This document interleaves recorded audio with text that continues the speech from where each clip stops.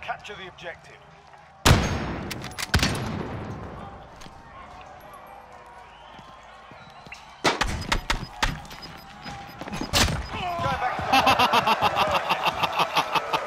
A few moments later.